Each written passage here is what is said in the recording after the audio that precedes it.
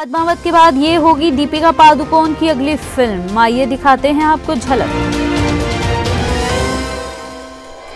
Bollywood actress Deepika Padukone की film Padmaavat लंबे विवाद के बाद आखिरकार 25 जनवरी को रिलीज़ होने जा रही है।